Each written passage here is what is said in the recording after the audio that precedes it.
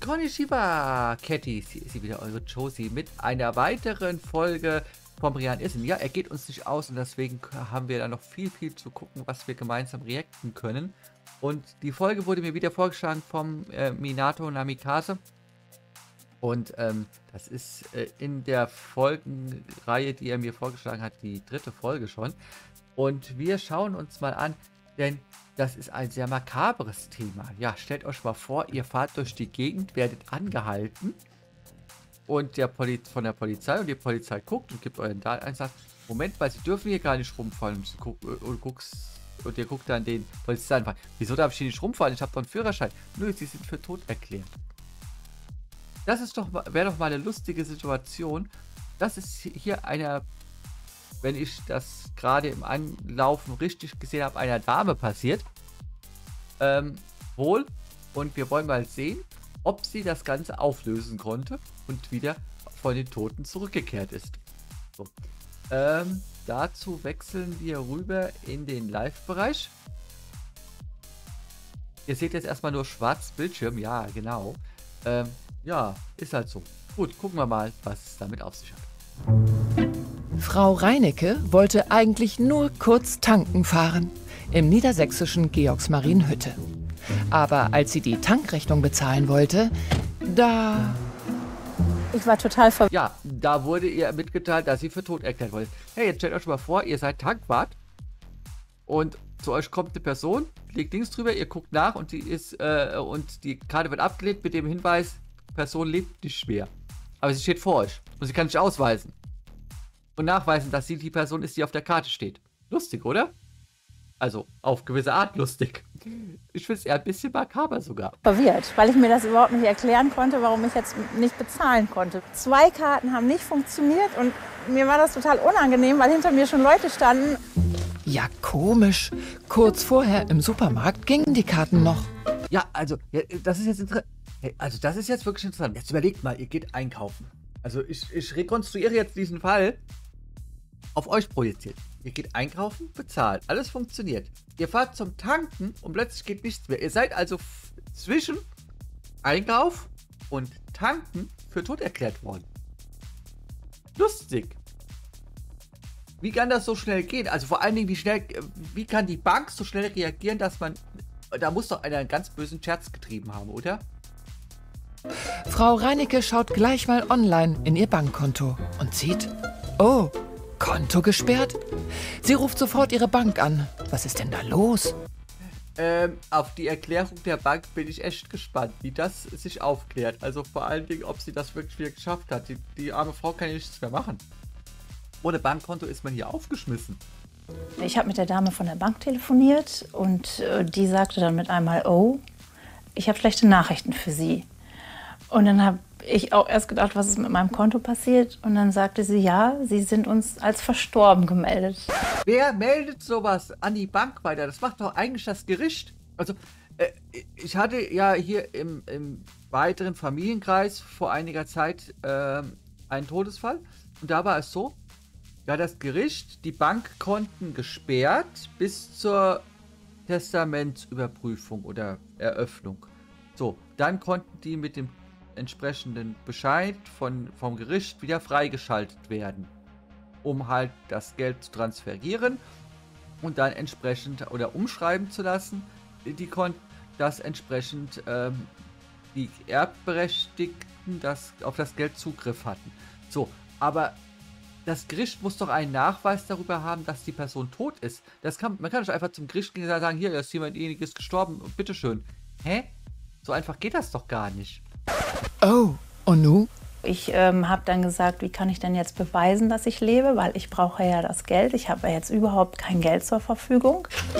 Sie soll ihren Personalausweis einscannen und der Bank schicken, als Lebensbeweis. Moment, Moment. Äh, der Personalausweis gilt als Lebensbeweis. Das ist doch völliger Unsinn, weil wenn ich den Ausweis von einem Toten habe und kopiere den, ist er doch auch nicht wieder lebendig, nur weil ich den Ausweis kopiert habe. Hä? Sehr ulkige Sache. Sie kommt zwar wieder an ihr Konto, entdeckt jetzt aber. Ich habe dann gesehen, dass meine Witwenrente aus April wieder abgebucht worden ist. Ein größerer Betrag, der dann fehlt. Ich war im Minus auf meinem Konto und habe halt hier auch vier Kinder zu versorgen. Ja, blöd. Sie ruft bei der Rentenversicherung an. Ja, und die wird ihr erzählt haben, ja, wir wissen auch, dass sie tot sind und deswegen kriegen sie von uns keine Witwenrente mehr. Aber dann müssten doch die Kinder Waisenrente kriegen. Abgesehen davon, vier Kinder. Äh, da müsste doch mal jemand auf den Gedanken kommen, nachzugucken, ob da irgend alles richtig ist. Äh, hier, ihr seid doch nicht mehr ganz äh, Behörden. Die sagt allerdings, dass die Rentenkasse zuständig sei. Gut, sie ruft bei der Rentenkasse an. Die Dame Und die sagt dann, nein, die anderen sind wieder zuständig. Das ist wieder hin und her, das kennt man. von der Rentenkasse hat mir gesagt, dass sie die Info bekommen hat, dass ich am 28.03. verstorben bin. Schön, dass ich jetzt endlich mein Sterbedatum kenne. Es kommt ein Brief von der Bank. Der geht an die Erben von Frau Reinecke. Ja, genau, die Erben von Frau Heinecke, die äh, ihn selber liest. Nachlasspost mit Beileidsbekundungen. Also hey, da fehlen einem die Worte. Da kann man nur noch sagen, hey, ich lebe noch. Und Ikea hat auch geschrieben, wegen einer negativen Schufa-Auskunft sei nun ihre Ikea-Karte gesperrt. Ja gut, wenn sie tot wäre, wäre ihr das ja egal. Aber da sie ja nicht tot ist, kann es ihr nicht egal sein.